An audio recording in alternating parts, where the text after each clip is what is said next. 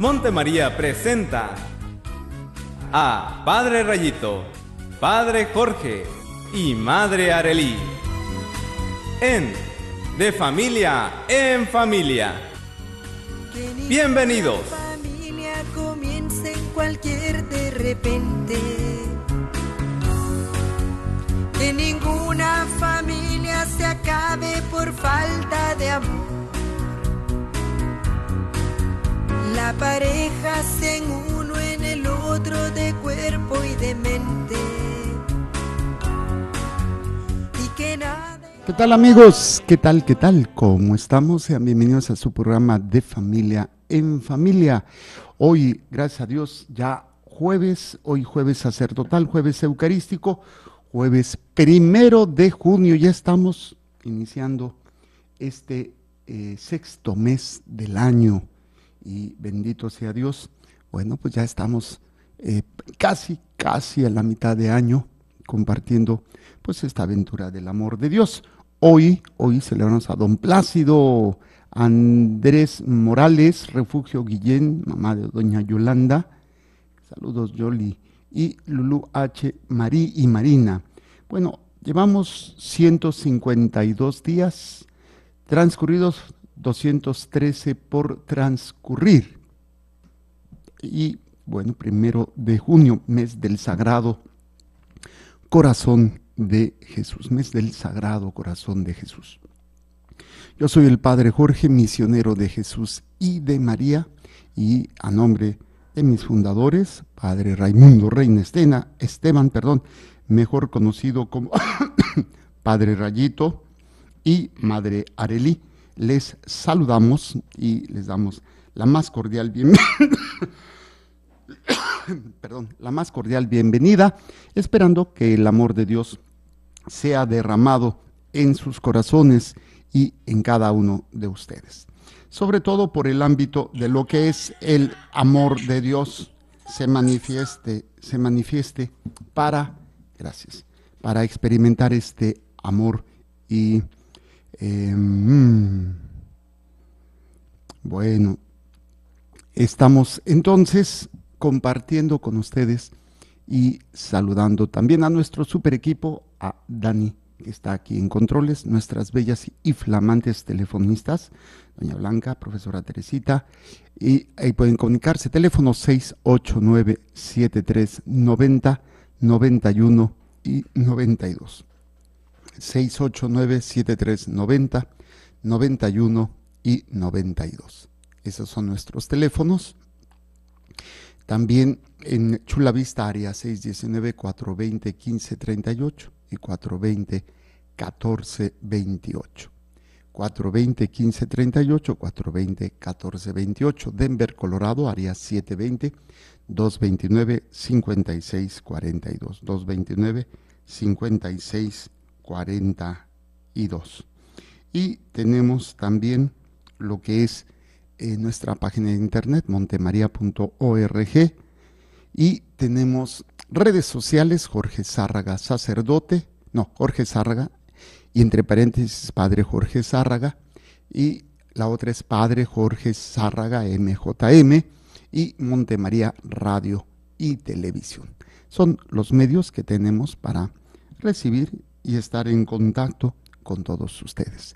Eh, y bueno, pues vamos a dar inicio a este primer momento y es eh, a través de eh, la oración, un momento de oración.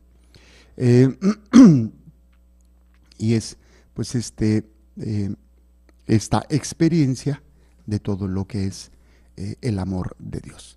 Entonces vamos a hacer primero un reconocimiento hay que limpiar.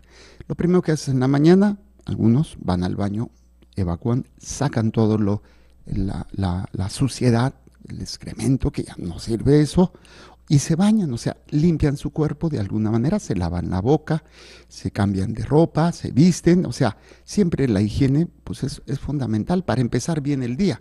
Bueno, pues lo mismo siempre un buen examen de conciencia de pedir perdón y de perdonar. Y pues lo ideal, si estamos en pecado mortal, pues la confesión, que es la mejor manera de poder limpiarnos. ¿Cómo lo hacemos? Bueno, pues simplemente haciendo un examen y hay unas oraciones hermosísimas que me gusta eh, hacer con ustedes y que es la idea de generarles una disciplina, una necesidad de la conciencia de pecado. No por el hecho de que hay una gente que se va al extremo y todo es pecado, todo es pecado. No, pero tampoco un relativismo en donde nada es pecado. Ni tanto que queme al santo, ni tanto que no lo alumbre. Simplemente de acuerdo a las enseñanzas de la iglesia, de acuerdo al magisterio, bueno, lo mismo, ¿no? Y este, los mandamientos, las cosas que sabemos, porque constantemente dentro de nuestra sociedad nos están quitando pues esta, esta conciencia y nos están dañando eh, muy fuertemente sobre este ámbito. Y entonces el examen de conciencia siempre es bueno. Ok, entonces hacemos dos oraciones, tenemos dentro de nuestra eh, vida de oración, dos momentos de oraciones en la misa, cuando hacemos el acto de eh, el Señor mío Jesucristo, el yo pecador, y el acto de contrición, que son dos momentos de oraciones muy hermosas, muy sencillas, pero que de tanto decírselas yo en, el programa, pues aparte que se la aprendan, que sepan hacerla. ¿Cómo hacemos? En el, yo pecador. Yo confieso ante Dios Todopoderoso. Y ante ustedes, hermanos, que he pecado mucho de pensamiento, palabra, obra y omisión. Por mi culpa, por mi culpa, por mi grande culpa. Por eso ruego a Santa María, siempre Virgen, a los ángeles, a los santos y a ustedes, hermanos, que intercedan por mí ante Dios nuestro Señor. Y el otro es el acto eh, de, contrición que hacemos cuando nos confesamos. ¿sí? Cuando el sacerdote no está dando la absolución, hay el cortito, hay el largo, pues yo hago el que me sé. Y que, bueno, pues es importante siempre hacerlo y es un momento muy, muy íntimo de pedir perdón, diciendo, Señor mío Jesucristo, Dios y hombre verdadero, me pesa de todo corazón de haber pecado porque he merecido el infierno y he perdido el cielo. Sobre todo porque te ofendí a ti, que eres tan bueno y que tanto me amas, y a quien quiero amar sobre todas las cosas. Propongo firmemente con tu gracia enmendarme y alejarme de las ocasiones de pecar, confesarme y cumplir la penitencia. Confío que me perdonarás por tu infinita misericordia. Amén. Muy bien, bien, pues claro que sí, creemos en Dios y es precisamente la razón por la cual estamos aquí. Eh, cuando nos ponemos a pensar, ¿por qué yo? ¿Por qué estoy yo aquí? Y la causa, pues es eh, eh, tan difícil de poder entender porque en lugar tuyo pudieran haber existido más de mil millones de personas diferentes a ti, o, que tú no existieras, así de fácil. O sea, las probabilidades de que tú existieras tal y como eres, imagine toda, toda la, el linaje de, de seres humanos, desde los primeros hasta que tú estés aquí, pues es algo que matemáticamente es imposible de imaginar, es imposible, porque toda esa eh, situación de mezclas y de que esas personas, tus ancestros, existieran, se unieran y que tuvieran hijos y a su vez otros y así, pues es matemáticamente imposible para que tú pudieras volver a existir, matemáticamente hablando. Eh, estamos hablando de uno a la décima, pero elevado a la quién sabe cuántos billones de billones de veces para que pudieras tú existir tal y como eres. Ahora, la causa pues no depende de ti. Tú, no, tú no programaste tu existencia y obviamente pues todo fue en un plan divino. La existencia tuya no eres coincidencia, eres una causa del amor de Dios que quiso que tú existieras. Eso. Ahora, en la causa, repito, pues, pero el efecto, ese es lo importante. ¿Para qué? ¿Para qué estamos aquí? Ese es el efecto que nosotros podemos empezar a trabajar para manifestar, pues ese amor, para manifestar esa experiencia de Dios y llegar a una meta que es la vida eterna, la, el, cielo, el paraíso, la visión beatífica o como quieras llamarle, estar con Dios. Esa es la razón más importante, la causa más importante.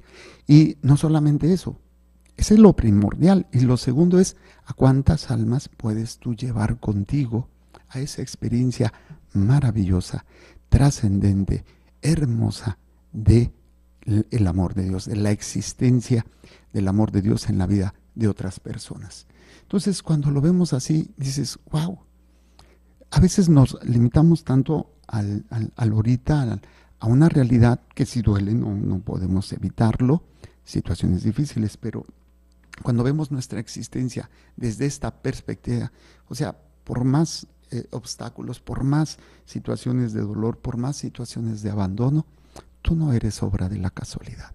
Aunque matemáticamente, repito, para que tú existieras, tendría que, o sea, que tú realmente existieras, que tú existiera la posibilidad de que tú volvieras tal y como eres, pues, repito, es uno a la décima, es uno a la diez, bueno, no me acuerdo ahorita, pero es billones de billones de probabilidades de que tú no existieras así como tal.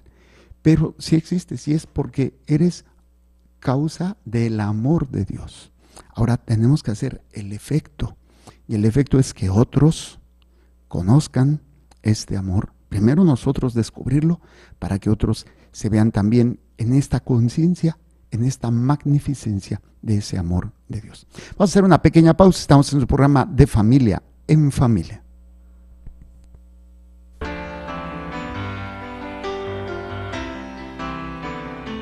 Al verdadero amor no se le conoce por lo que exige, sino por lo que ofrece. De familia en familia, regresamos.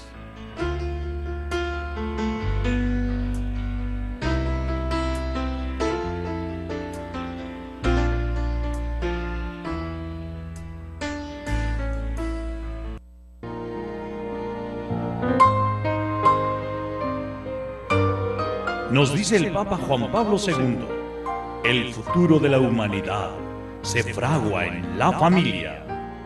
De familia en familia, continuamos.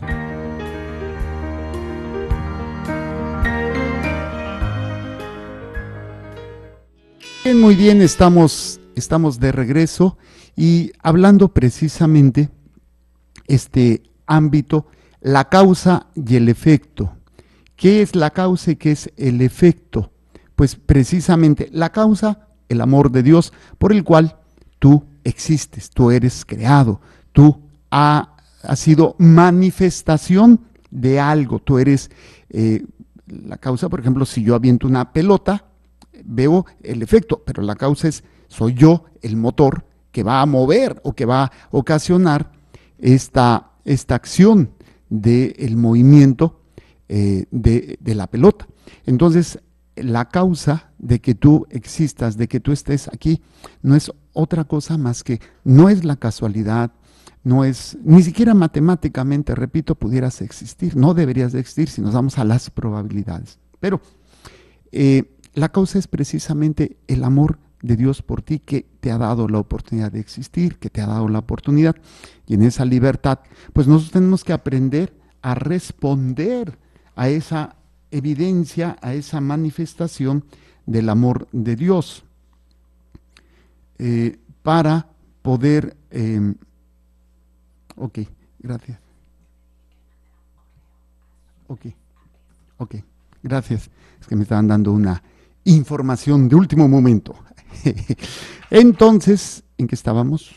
Mm, bueno, de la existencia, del hecho de que tú estés, de que Dios te haya llamado, bueno, pues es precisamente para algo.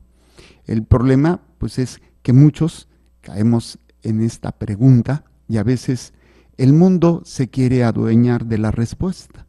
La pregunta es, ¿para qué estoy yo aquí?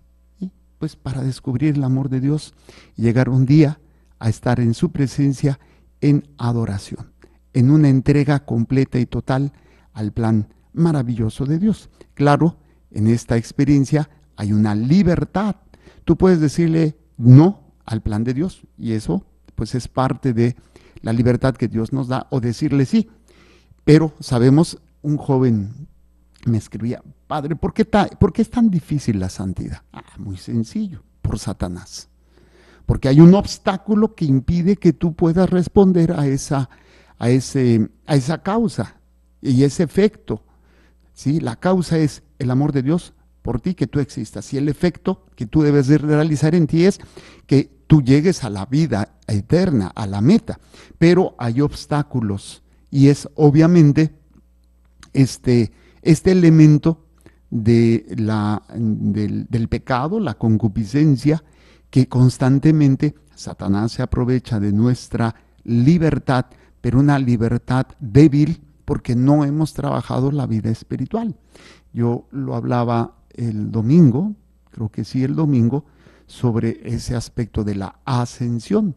Y la ascensión conlleva precisamente ese deseo de lo eterno, de la trascendencia. No es obra de la casualidad que estemos aquí. Y Dios nos ha llamado a algo eterno. O sea, tenemos esta necesidad. Yo no puedo tener hambre de algo que no exista. No me lo puedo inventar. No puedo tener hambre o necesidad de una comida que nunca he probado, que ni siquiera sé que exista. Tengo hambre de comida, tengo necesidad de alimentarme, pero así específicamente, ay, pues yo tengo necesidad de, pues no sé, me invento algo, pero no, puedo generar la necesidad después, pero todos los hombres en todos los tiempos de la historia han sentido la necesidad de la trascendencia. Entonces, no es inventado. No es algo que se haya sacado la iglesia de la manga para poder enajenar el opio del pueblo, ¿no? La religión que decía eh, Carlos Marx, no, de que el opio, digo, la religión es la manera de embrutecer y tener medio mensos al ser humano, para tenerlo enajenado, limitado y pues ahora vemos un laicismo muy fuerte en nuestros gobiernos a nivel del mundo donde atacan fuertemente la religión y específicamente la religión que hay que atacar. Y si ustedes se dan cuenta, pues es la Iglesia Católica. Vean todas, todas, en todos los ámbitos, por ejemplo, en España, eh, desgraciadamente hay un, un odio a la Iglesia Católica increíble. Y no digo de todos, pero sí lo veo a nivel de esas de ataques a sacerdotes, a obispos. Bueno, aquí no voy a quitar, eh, decir que no, sacerdotes asesinados, ¿no? Dicen que para los, un país peligroso para vivir para sacerdotes es México. Mm. Están siendo asesinados sacerdotes. Pero aquí lo interesante, lo interesante es precisamente que Satanás, la carne y el mundo, que son los enemigos del alma, van a tratar de impedir que tú llegues a la, a la causa. Digo, al efecto. El efecto para el cual fuiste creado es la vida eterna la plenitud de tu, de tu ser, que empieza aquí. Y pues ahí es donde a veces nos, eh, ¿cómo se llama?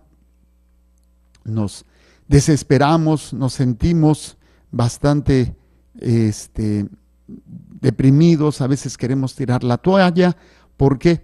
Porque eh, es, es, una, em, es una incapacidad que tenemos nosotros para poder responder, para poder hablar, para poder este, realizar pues todo lo que Dios nos pide. Entonces es una, ¿cómo se llama? Una lucha, una lucha espiritual. Y ya lo veíamos, no me acuerdo en qué programa o en qué prédica, pero me acuerdo eh, que es Pablo. Eh, el combate, el buen combate de la fe déjenme ver, es, ahorita les digo, de Pablo a Tito o a Timoteo. Déjenme darme chance de buscar esta cita. Combate el buen Timoteo 6, 12. Es Timoteo. Timoteo 6:12. Fíjense lo que dice. Combate el buen combate de la fe. Conquista la vida eterna a la que has sido llamado y de la que hiciste aquella solemne profesión delante de muchos testigos. Está hablando Pablo a, eh, a Timoteo, lo está exhortando. Dice desde el 11, tú en cambio, hombre de Dios, huye de estas cosas. Está hablando de eh, el pecado, obviamente, de la manera de vivir. Huye de estas, corre al alcance de la justicia, de la piedad, de la fe, de la caridad, de la paciencia, en el sufrimiento, de la dulzura. Combate el buen combate de la fe. Conquista la vida eterna. ¿Por qué es un combate? Nos manda aquí también a 2 Timoteo 4.7. Precisamente porque es una experiencia de lucha entre eh, a quién voy a obedecer. Acuérdense que la fe, si lo queremos simplificar de la manera más sencilla, es la obediencia. ¿A quién voy a obedecer? ¿A Dios o a los hombres? Pablo lo va a decir también. Pues, pues eh, no es cierto, no es Pablo. Eh, alguien que dice esas palabras, híjole, me da mucha pena no tener esa memoria de las citas que dice, por lo pronto yo no sé a quiénes, pero yo y mi familia nos sometemos o aceptamos la fe. No me acuerdo quién dice esto. Ay, ay, ay. Lástima que no está aquí el padre. Bueno, les manda saludos, ahorita vino hace ratito. Ay, ay, ay. Bueno, alguien dice, por lo pronto yo y mi familia nos sometemos. O sea, aceptamos la obediencia a Dios. Y esa es la libertad. Entonces, ¿qué es lo que sucede en este combate? Pues Satanás se aprovecha de que nosotros estamos acostumbrados a someternos a nuestras necesidades. O sea, tengo hambre, pues voy, me levanto y como. O sea, pues porque voy a pasar hambre. Me duele, pues hago todo para que no me duela, porque voy a, pasar por el dolor.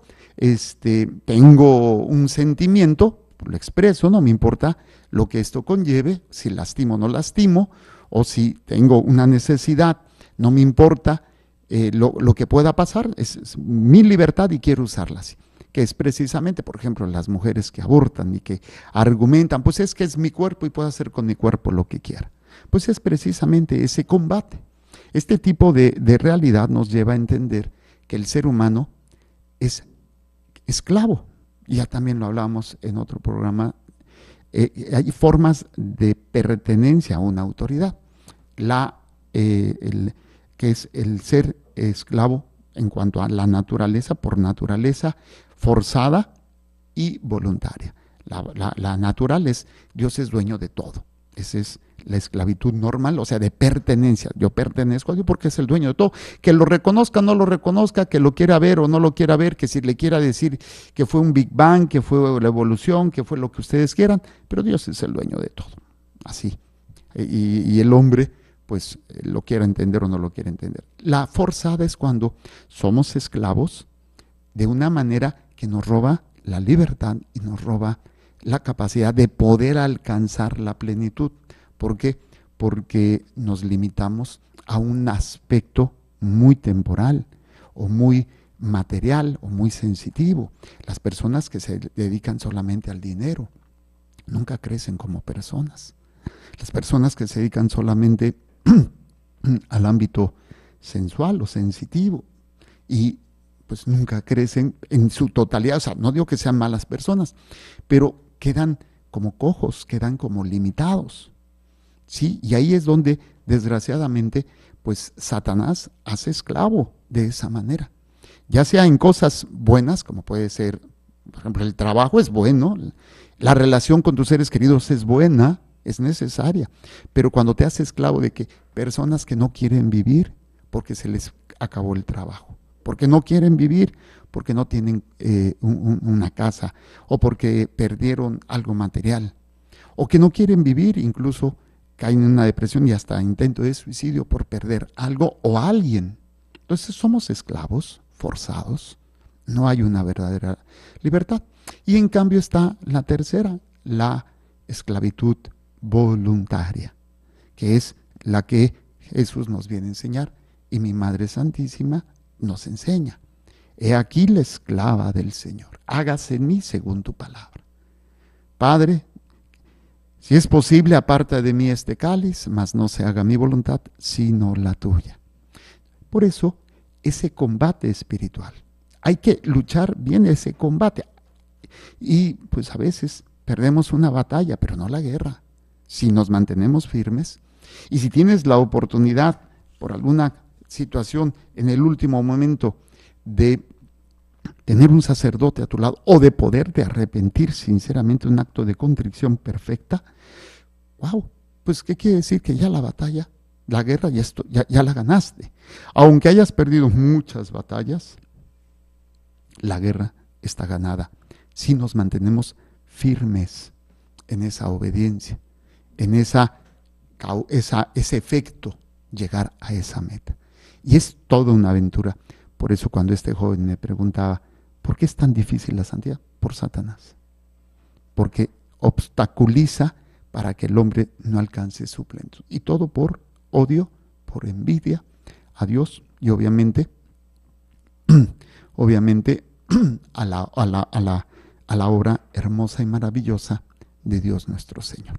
Que Él es eh, esta, esta, este, esta lucha continua y permanente del amor, de la gracia, de, este, de la misericordia eh, de Dios para todos nosotros. Por eso cuando eh, nosotros para poder lograr esto, pues es necesario trabajar en la humildad. Si no hay humildad, no sabremos cómo responder, cómo actuar. Y terminaremos, pues como dicen, y la frase que siempre uso, ¿no? Más perdidos que el hijo de la llorona, por no entender. Bueno, un pequeño comentario, esperando que esto pues nos ayude a entender un poquito la trascendencia maravillosa que tú tienes como hijo de Dios. José Eduardo García, del Centro por sus necesidades e intenciones de su corazón. Maru Rique, en Chapultepec, por sus necesidades e intenciones de su corazón. Gracias, doña Maru. Gracias por lo de el ventilador. Todavía no he podido ver, pero Voy a hablar con su hijo Alex a ver si este sábado podemos ir en la mañana. Al rato le mando un mensajito. Gracias, doña Maru. Profesor Miguel Ángel Berrones, sus necesidades e intenciones de su corazón. Eh, Luz María, por las intenciones y necesidades de su hijo Eduardo Quesada, que Dios le ilumine en su entendimiento en la escuela. Claro que sí. Tenemos a Rosa Gaitán. Saludos a Padre Jorge, Parrito Marelia y a todos los demás. Tengo una duda. pido por el eterno descanso de su esposo. ¿Y cuál es la duda, amor? no me, no me puso su duda. Bueno, Claudia Rodríguez. Te pido, Padre mío, porque protejas mi hogar, que reine la paz, mis hijas quieran y se apoyen por su santa protección sagrada. Amén. Esther Camarena, hace unos días se me subió demasiado la presión y estuve en el hospital, ahora estoy con muchos nervios. ¿Qué puedo orar o hacer para que se me quite esta sensación? Primero que nada, cuidarte, Esthercita, y ser más responsable en tu alimentación. Empezar a hacer, bueno, dependiendo de lo que te diga tu médico, pero descuidar el azúcar, bajar de peso, cuidar tu alimentación y ya a nivel espiritual ese abandono en Dios. O sea, muchas de las enfermedades y lo que padecemos no es que Dios quiera tu enfermedad, es que no te supiste cuidar. Pues ahora empieza a cuidarte, sé responsable, toma el control de tu salud y de tu vida y entrégasela a Dios, pero sé obediente. Claudia Rodríguez, por mi familia, hermanos, sobrinos, nietos, salvación, conversión y liberación de la familia Rodríguez Lucio y por todas sus demás intenciones. Claudia, bueno, por sus hijas María de Jesús Urbina y Viridiana Trejo. Eh, Karina Reyes, a todos en Montes Jueves sacerdotal, mis intenciones y mi trabajo de este día son para mis queridos sacerdotes, Padrito, Padre Jorge, Padre Jaime, en New Heaven Estados, para felicitar a mis dos hermanos que cumplen hoy, Tomás Reyes y Jesús Reyes, y pedirles su bendición para ellos. Claro que sí, mi querida Karina. Eh, tenemos a Ivette Barragán, por las personas que fallecieron y fallecen el día de hoy. Claro que sí, por Maura Hernández, por todas sus demás intenciones. Edna Lorena, para eh, regresar a la iglesia nuevamente arrepentida y convencida. Claro que sí. María Espinosa en Los Ángeles, por su hija que pueda ser mamá, si Dios quiere. Miguelito en California, da gracias porque ya va a ser su confirmación, ponerlo en la Santa Misa. Felicidades, Miguelito. María Guillén, por todas sus intenciones y Angélica María Pulido Arteaga, claro que sí, y todas las demás intenciones y necesidades que hay en el corazón de cada uno de ustedes. Muy bien. Que el Señor les bendiga y les proteja, haga resplandecer su rostro sobre ustedes y les conceda su favor. Que el Señor les mire con benevolencia y les conceda la paz. Amén. Jesús, que tu sangre pura y sana circule en estos cuerpos enfermos, que tu cuerpo puro y sano transforme estos cuerpos débiles y que una vida sana y vigorosa palpite dentro de ellos. Amén. Y la bendición de Dios Todopoderoso, Padre, Hijo y Espíritu Santo descienda sobre ustedes y permanezca para siempre. Amén. Muy bien, pues gracias a todo nuestro equipo, gracias de verdad por acompañarnos, permitirnos llegar hasta sus hogares y experimentar pues esta oportunidad de hablar un poquito de, recuerda, tú no eres obra de la causa, de la, eh, de la casualidad, eres pensado, eres, hay una causa de tu existencia y es el amor de Dios. Ahora hay que vivir el efecto que es alcanzar junto con tus seres queridos la vida eterna. Recuerden, Dios es amor y te ama.